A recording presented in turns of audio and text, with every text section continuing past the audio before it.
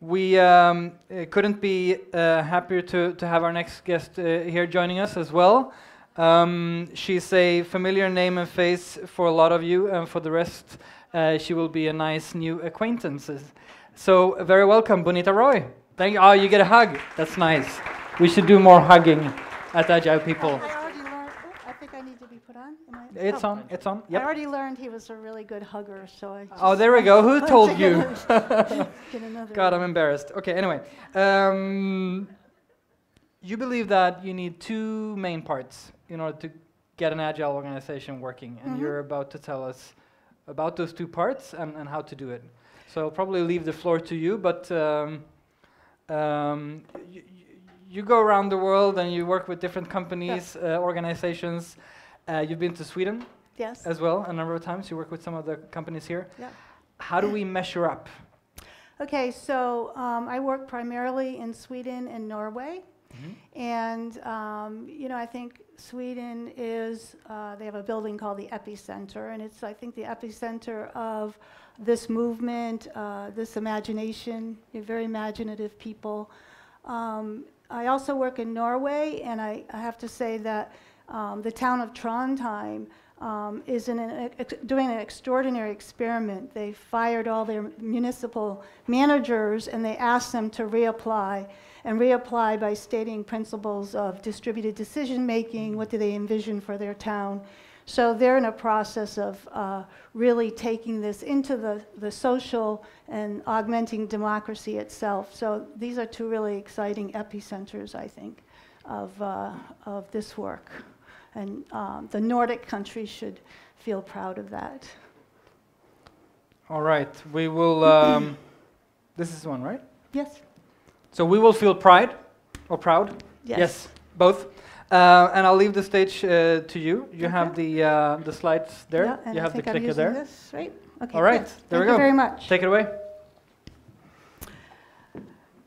So I always start with uh, a framing that I let itself compose while I spend some few moments with the group and in the in, in the company of the people. So I start off with a little cheat sheet because it has just formed itself or informed itself in participation with this environment, with some of the people that I talked with, with some of the earlier presentations.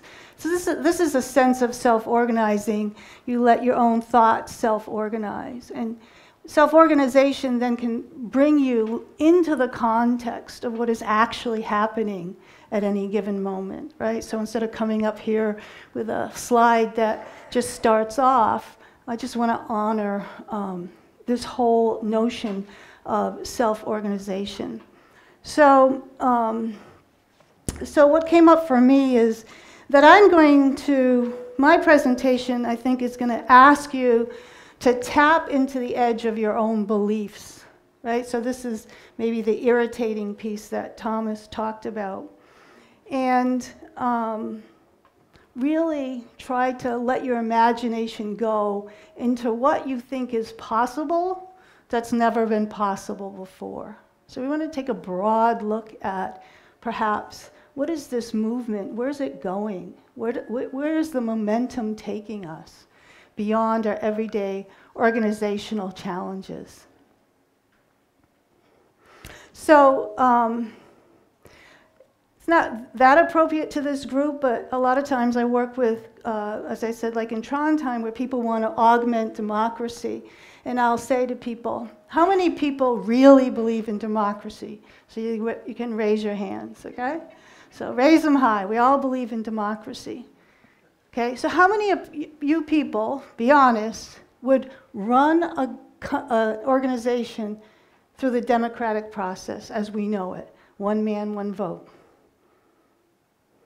Okay, a little less sure, right?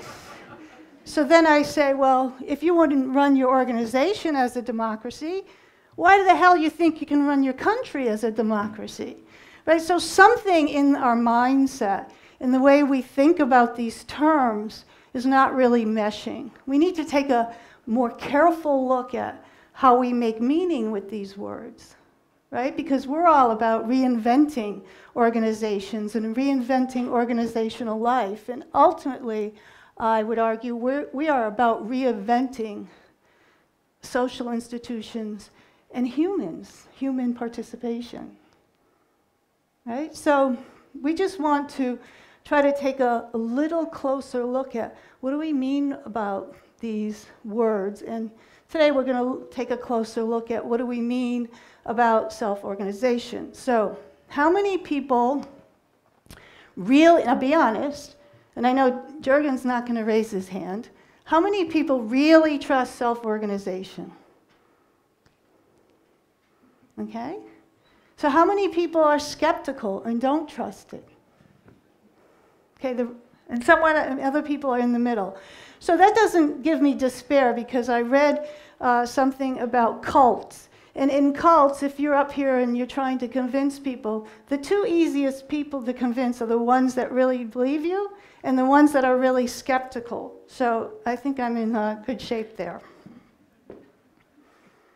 All right. When we think about self organization, we need to first, what is our starting point?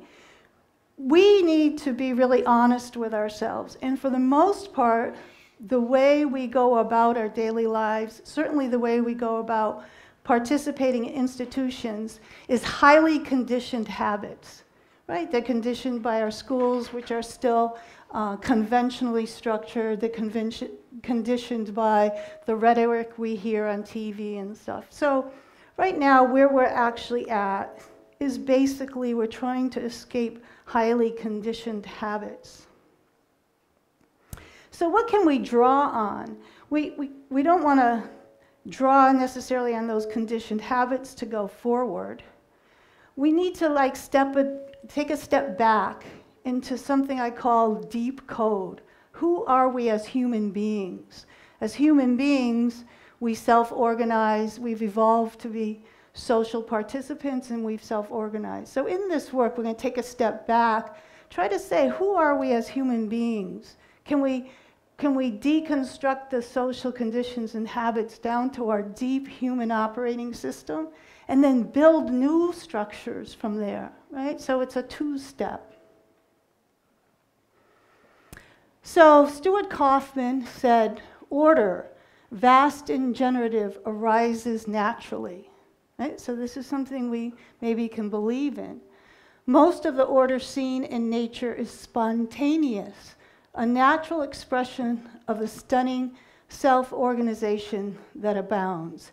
Does anybody know? You guys were all like Star Wars and Pokemon experts. Does anybody know what this is a picture of?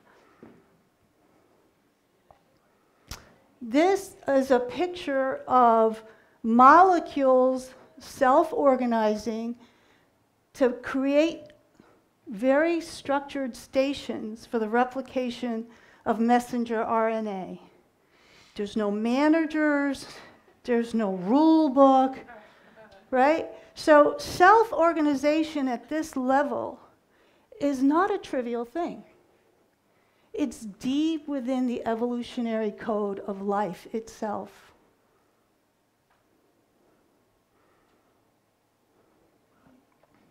So these are pictures from the architect Christopher Alexander. He took these pictures because he was trying to answering, answer the question, what is life? And he also saw that there was the nature of order was self organizing. And these are ways that we self organize. And if we had time, we could have a conversation over what are the catalysts here that create self organization? What about the environment is rich enough to attract self and support self organization? So we have different, different ways of naturally organizing ourselves. this is also patterns of self organization that are primarily driven by threat or pressure or uh, drastic change. And you see that the different, the different uh, environments or the different conditions create different patterns of self organization. So these people are not following a guidebook or a rule book. There are no signs up that uh, tell them how to be. So um, all of living animals and insects also uh, self-organize in creative ways to build, uh, to solve construction problems, right? That's a pretty uh, complex task. Um, to create social bonds, deep roughhouse play is, uh, turns out to be a very important aspect of building social bonds, to building family and extended family bonds. These are all ways of self-organizing. So we also see that in nature, there's multiple species self-organize to create co rich, complex environments. So there's a whole um, literature and research around self-organization. And one of the things I wanted to point out in these slides is that um, years ago, when we went and looked at ecologies, like the food web, we had the pyramid, right, where the dominant, uh, like the wolf was on the top and he got to eat these animals, and these animals got to eat these animals, and these animals ate, ate the plants. So, what did it look like? It looked like a dominance hierarchy, right? But was that hierarchy in nature or in the model of the researcher doing it? And this is one of the questions we can use when we look at our own organizations. Because a certain person will go in and say, oh my God, it's such a hierarchy. And another person, maybe who has more lived experience and knows how, has better uh, ways of relating with people, will say, no, no, no, it just looks like that to you because, you know, he's really good at giving orders and we just let him do that. And really, underneath what's going on is much more uh, self organizing. So we really have to be careful that we're not looking at complex processes of human relations. We're not looking at this and saying, oh, it's a hierarchical food chain. Because we went from the food pyramid to this kind of uh, thing where this one ate that one, but then this one, and all these complex relations. And now we look at complex ecologies in a very uh, complex networked fashion, right? So this is one of the things to remember when we look at self-organization. So the cells of your body coordinate the behaviors of about 100,000 different kinds of molecules as matter and energy cross their boundaries. And we'll see that in self-organization in human systems, this is what's happening. We're exchanging matter and energy.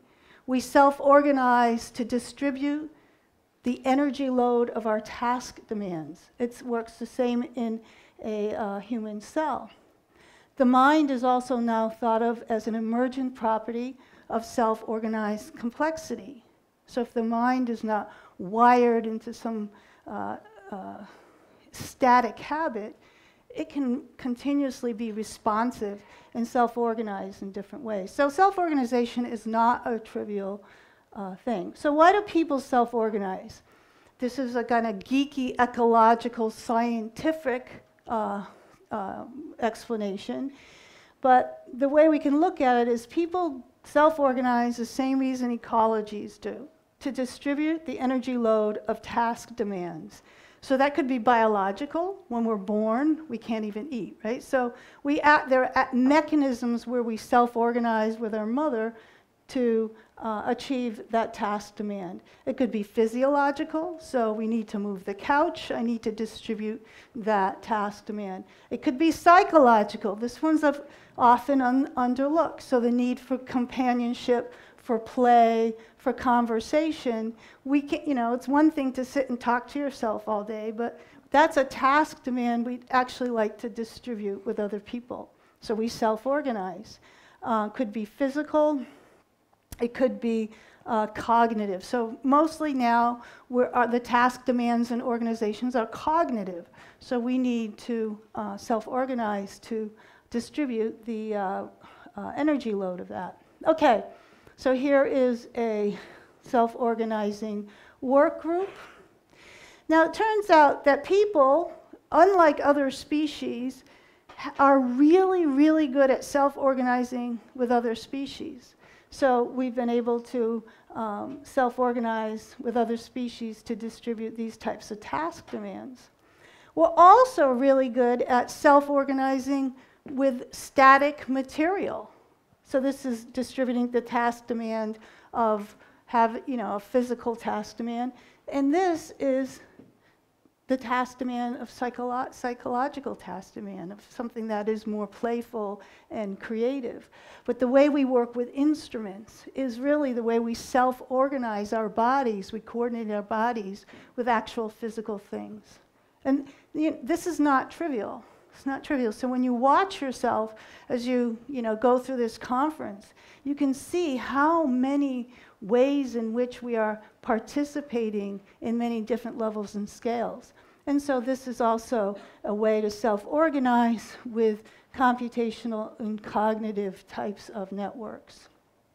Okay, so the, um, uh, there's a great TED talk uh, by Sugata Mitra who showed that if you put a computer in rural India where people don't know how to speak English and they've never been to school and they don't know how to use a computer, that just by the nature of their participatory support and their curiosity, they can learn about recombinant DNA over the course of a year. So they teach themselves how to use the computer, how to speak English, how to surf the web, what questions to ask. So, it's a, so the power of um, trusting self-organization is um, really quite amazing. So it's a great talk if you haven't seen it. Sugata Mitra, uh, uh, Self-Organizing Learning Environments.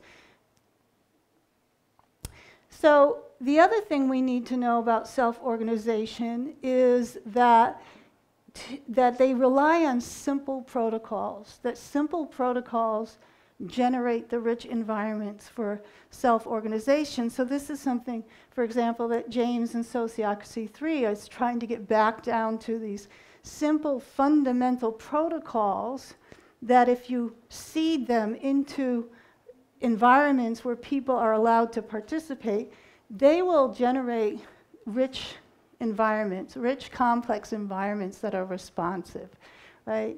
So when we talk about how we can get people to self-organize, we want to look for some of these simple protocols that seed the environment for the expression of the complex responsiveness in, in, in humans. Um, and this is, again, um, the, this slide presentation shows you that all of this is consistent with science on this deep ecological uh, life force level. We're, we're trying to tap into something that has evolved um, as life evolves. So this is the, you know, the way I started. We're pretty much conditioned people. We want to go back and understand self-organization from this deeper code and because we're going to about to switch and say well what's the challenge going forward? If we can get back and understand ourselves as naturally evolved self-organizing uh, organisms and honor the fact that we're really really good at it then how can we take that bypass the conditioned habits of modernity and move that into the kinds of future that we envision right? So it's a two-step. It's not just about getting back to our roots, our primal roots, but understanding the genius in that evolved system and taking that energy, taking that genius and moving it into a new future. So this slide is a very simple protocol of how to do that, right? So I'm not going to, it, it's also backed by a lot of science. Self-determination theory is used in almost all uh, leadership assessments and management assessments. But this is an attempt to get us to understand our own lived experience. Can I get back to understanding myself as a self-organizing being? So there's three aspects of the way we kind of hook up with people in what Ralph Stacey calls complex processes of human relating. First of all, we have our own autonomy, right? As an individual, that we're going to hold on to this. This is not something that we, we can let go lightly. We can't even let it go. We are all born very unique, and that's precious to us. So we have our own autonomous identity. But we're also relational beings right? So we're also relational beings. And we also have agency. We want to act out in the world. We want to perform who we are. We want to solve problems and do tasks. So, the collective version of these three that comprised my live experience as a social being is first my own autonomy. So, I have a little, you know, being there talking to itself. And then we are all collectively autonomous individuals. So, this already makes it a challenge. How do you, how do you deal with that? So we share intentions. And the biggest part about sharing intentions, it's supposed to be the earth down there, is that we have a common world. So not only are we collectively autonomous, but we have a common world. So we're grounded in something that has its own commonality. So that's the environment, the, the environment that we have. And then primarily, we link together through our value chains right? So we have a common world, and that somehow creates the ability for us to have shared values, and then we seek out and we kind of, it's like a strange attra- attractor. We magnetically associate with people who have the same value chains as ours. So we get these value chains. And then we can use that to create collaborative action. And if you see, this moves, is the collective version of autonomy relationality, shared intentions, and the value change. And then we have collaborative action instead of our own action in the world. It's a very simple schematic. So, what are the challenges? The challenges are we are also in the revolution of becoming very individuated. We want our singular perspective. We are more, there are more ways to be unique now than ever before right? So this is also coming online. the same time that our need to have scale agile and have more collective uh, agency, we see that we're also becoming demanding and understanding ourselves as the unique perspective that we have, and we want to honor that, right? We have a common world. This gives you a sense of what I'm talking about. These are three autonomous individuals, but there's a sharing going on already. Shared intentions. We're getting closer now to actually self organizing to action, world building type intentions. So this is an interesting slide because they have the same values, but they're not actually collaborating, right? So they're still individual, and you can see the sense in which, at what level of organi- self-organization that's happening here. They can't, doesn't seem to me they can even help each other, right? But they're sharing the value of this crazy activity that they have. So when, if, how many of you are like coaches or chapter coaches or something like this? So these are, when, if you do the workshops, um, plug, plug, these are the types of ways you can look at your organization. You know, where's the level of autonomy? Are we sharing worlds? Are we sharing intentions? How, what type of value sphere do we have? Um, and you can use um, tools such as sense making tools to assay the kind of state that your teams are in and have conversations that matter around this.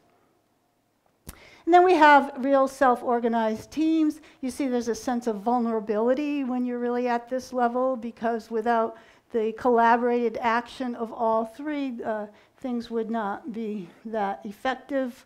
Um, so this is, these are the kinds of switches that happen in actual, actual lived experience as you get closer and closer to authentic teamwork, right?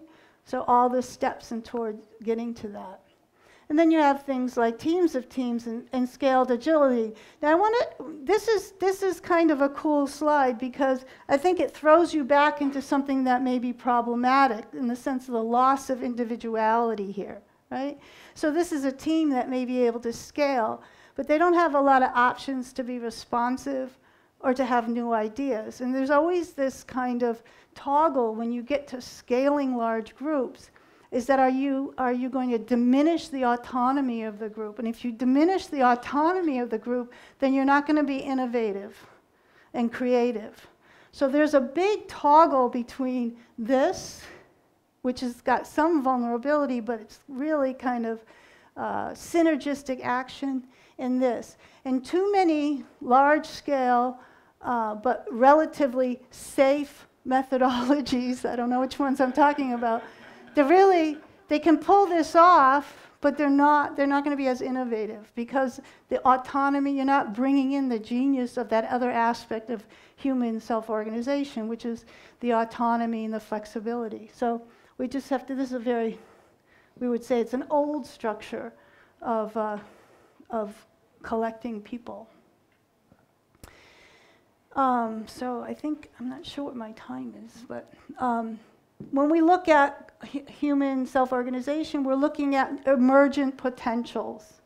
Okay, we're not just looking at um, these old evolutionary potentials. So this is a picture of uh, Burning Man, and um, this is an experiment in emerging potentials. And I'm just going to go through one last slide. It's kind of the complicated slide, but first I do it this way. So what's the challenge in the emerging potentials of human self-organization? What is coming online for us that has never been there before? And if you put your hands together, it's kind of like this. First, there's two people. And when they come into social space, we're all kind of bundled up. Our, these, are, these are our our uh, motivations and our relational anxieties and our social anxieties kind of bundled up. We're all kind of closed up. And when two people come together in social space, the first thing that happens is they have to negotiate like their intentions and their anxieties and what's going on here. But the interesting thing that happens, and this is the key piece that you, if you remember this, is as when they come together, they're going to they're going to feel the pressure to create roles. This is my identity. Like, who am I going to show up with her? Who am I going to show up with him, right? So, not only are we trying to figure out our kind of emotional uh, and intentional spaces, which is very chaotic, but in order for these things to sync up, we have to fall into an identity that I accept, right? So right now, all of you are accepting the identity of I get to talk to you, right? And maybe that could have broken down if I was Milo, right? My, if I was Milo, maybe that would have been broken down. But what happens is in organizations, we've traditionally only given people a handful of roles or identities that they can play. And this, when this happens, it helps us connect because I know who I am and you know who you are. But it gets us stuck in those roles. And what we need to do, the emergent property of human self organization, is to learn how to be very flexible in, those, in that identity space and just kind of move toward action, right? So, um, one of the challenges of going forward is if we have these relational values, we have an interplay of needs and wants that has to be worked out. That's a challenge. And then we have emergent identities in social space. We need to agree on how we are going to understand each other. And this creates a lot of social anxiety. It is why people actually, in many cases, just say, Give me a role, tell me what to do. I want to understand me, myself as that role. But it robs the system of the evolutionary genius of that interaction. So when we work with people, we work with them saying, well, what role did you take? What were the available roles you could, you could have taken? Can you think of other types of roles? So you can work with this heuristic of self-organization to create very, very high performance teams where innovative ideas, innovative type roles and identities will emerge. And then when that all works itself out, then you get an emergent outcome. So this is a kind of uh, challenge um, to a kind of human constitution right now. Um, but people have been uh, working at this level, working without roles, letting roles and identities in social space emerge and be flexible and be creative. And I think when I showed this uh, when I show this uh, slide, what I see here is if you've ever been to Burning Man, that's all what people are doing. They're wearing costumes and showing up, out, they're practicing roles, new roles, new types of ways of being human in social space. And this is a real challenge. This is one of the, the real horizons of, create, of, of creating very large, uh, very responsive uh, teams that can work in innovative ways. So um, when, I, when I look at the challenges for agile or the future of work, I'm going to say, well, what is it about us that we have to recreate as human beings? And we can, we can be imaginative about that. And, and this is kind of where the rubber, rubber meets the, the road. Um, in this, this way, we are evolutionarily um, together when we self organize.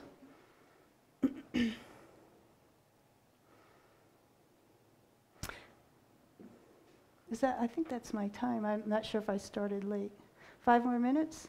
Um, so are there any questions? Or I could, down, I, could, I could speed present the last part. Fair, I think you have 10 minutes. Uh, Ten, yeah, that's why I was asking. Okay, so I, uh, good. So I'm in good. I'm in good shape. Okay, so One of the things that happens in organizations, if you allow them to self organize, then the power structures will also be innovative, right? You won't just have a dominance hierarchy. You might have over here at this condition, have, you know, we've all been in groups that have worked really well, and then the shit hits the fan, and you have an expert in the room, and you just say, just tell us what to do, right? This is something we know how to move toward when under certain conditions. So, we're not, uh, uh, in, you, you, know, in terms of self-organizing complexity, if we allow the genius to unfold and we know how to support that, then you will get this balance of how people organize, but it will be in response to uh, appropriate conditions.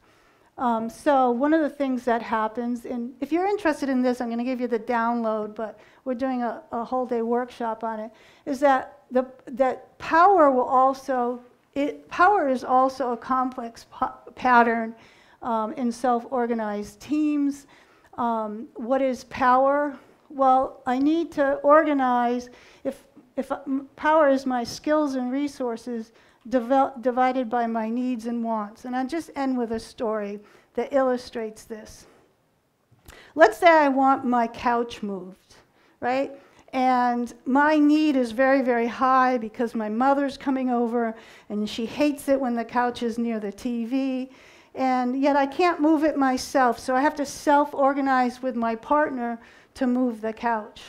Well, my partner, inside of his needs and wants, is like his relational space is like, oh my God, she's just moving that because her mother is coming over and she needs to get you know, grow up and not be in that. So we have asymmetric needs and wants. In this case, my needs are very, very big, and his needs are, are neutral or negative. He doesn't have a need. He doesn't want to want to move that couch. So this is already a very complex negotiation, right? From the get-go.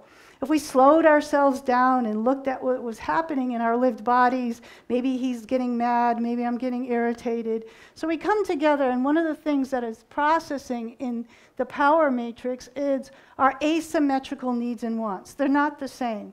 If he was freaking out because my mother was coming, no problem. We would just move the couch. Okay? Skills and resources. He now on the other hand, he might be stronger than me, right?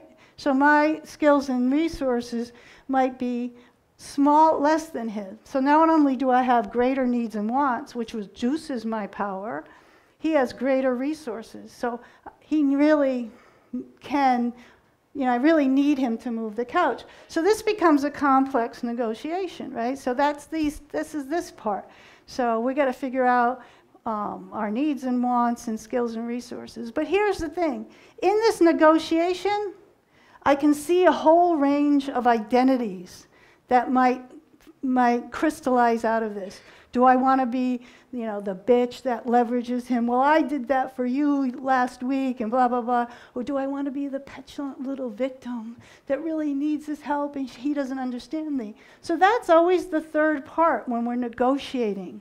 We have our asymmetric needs and wants, skills and resources, but in the end, it won't turn into collaborative action if we can't settle on an identity for each one of us. And if you're really honest with yourself, you'll see that in all your interactions at work that aren't just unconscious, there's always this third element. Who am I? Who am I going to allow myself to be identified in this relational space? And so, this notion of that third identity coming out is a crucial part of learning how to negotiate the power dynamics. But um, what we know is the less asymmetry in the um, power dynamics, then you can create more, val uh, more value through these higher types of team performance. So um, the, the, the point here is to allow for self-organization to constantly churn away those asymmetric needs and wants, skills and resources, so that the power matrix grows from something that looks like coercion in, up into something that looks like synergy and, and co-creation. So the, this is, these are the ideas around self-organization. They're very robust ideas. They rely on simple uh, protocols, and they're tested in practice for people like yourself that are interested in experimenting into new ways of collaboration. So that's it.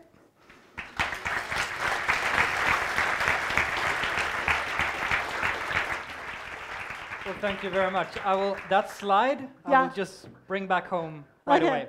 Yeah, I'll use it when moving couches and what have you.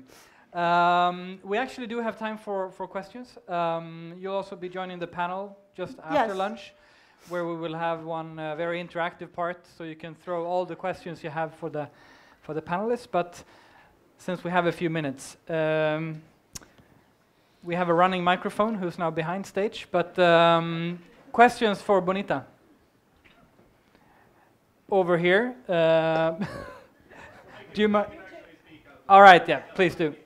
So, um, I, would, I would like you to mention something about how you relate to, to the tragedy of the commons in the self-organization space, since you're actually relating to anthropology and economics at the same time. What's your view on the Large question. Yeah, yeah, that's a big question. I, I, um, I do have an opinion on it. It's quite provocative, so I'm trying to try to answer in a headline. Um, oh, sorry. Okay, so the question has to do. What does this have to do with the whole notion of the tragedy of the commons? And I think your question is really on target because it has a lot to do with the tragedy of the commons.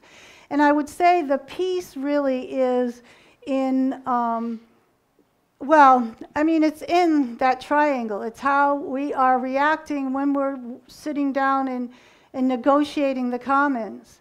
And I think that what, what I'm saying is that um, in general, even people who would vote for the commons or want the commons or ideologically are for the commons, they don't really understand their own lived experience. They may, for example, give away their autonomy in that negotiation. So um, um, that's, a that's the shortest. Where you're going is a very rich conversation. I'd love to have it with you. But, but my work is all about let's be honest how I'm really participating and what am I participating with. Because to preserve the uh, commons, we have to be able to hook up and be agentic, be doing things with other people, not just showing up, oh, here's my identity, I'm a good person, goes rah, rah, rah, the commons, right? So we can, it, so does that help answer your question? Yeah, yeah. Thanks for the questions. Okay, we'll do one more question. If Here we go.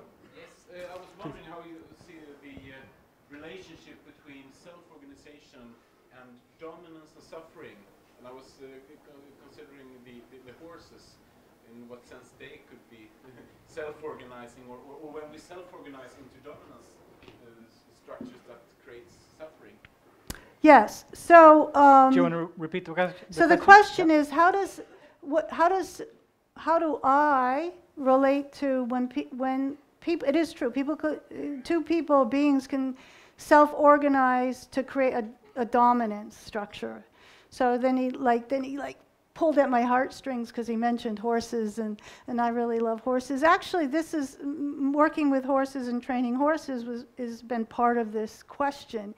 Um, so we we again I think that it requires both individuals to show up in, in a very healthy way. So, for example, um, one of the problems that we see, and then I'll get to answer your question, but one of the, one of the things we don't focus enough on in self organization is that we focus a lot on dominance who's dominating who, but we don't focus on our own needs and wants, which reduces my.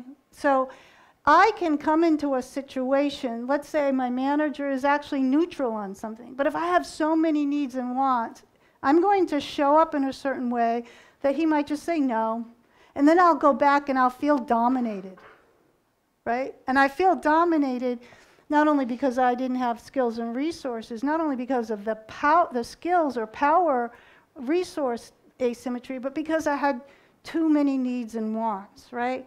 And, and so that, that creates, so in terms of horses, when I work with horses, this is exactly the kinds of ways I un- start to understand this. So um, in the mantra, that I do in the horse workshops is we don't want to be dominated or be dominators in general. That's a psychopathology. But we want to be leaders, right? So in the horse world, we say, I'm going to shape the horse's character. I have that responsibility. They have to live in the human world. But the horse is going to shape my leadership because he's always going to be testing me. And so you have to allow that in, that part of the other equation in. So instead of me, when I feel challenged, pushing down, then it, I say, I want to help, that's going to help me rise up. And then the horse rises up. And then the leader rides up. And the horses ride up. Now, in the human world, then sometimes it'll reverse. And part of that part of being relationally, um, uh, being better at being relational, has to do when we do the exercise, how many relation, it's not about can I always be nice, but having a lot of relational intelligence is how many types of relations can I be involved in in my group? Can I be a leader? Can I be a follower? Can I be against someone? Can I be with someone? Can I be beside someone? Can I be ahead of someone? Can I be way behind someone? And most people will see some of those things as negative. I don't want to be behind. And some as positive, or vice versa. And to the relational aspect of the work is how many different types of relations can I be in with many different people? And that makes the environment more rich and complex. So th- that's part of the teaching on that. It's a, another big question. Okay, thank you very much. All right, thank you very much, Bonnitta. You, there's some uh, some gifts and chocolate and and. Um, thank you you tend to get big questions. Uh, you'll do you'll be doing some workshopping tomorrow uh, yes. as well. And and it'll be it'll be very dynamic. We're going to do some tai chi and push hands and really notice uh, what our power leaks and our power grabs are. And some of it will be uh, disturbing, and some of it we and all of it we can be very proud of it, and most of it will be fun. So. okay, so fun and disturbing. It sounds like a good treat.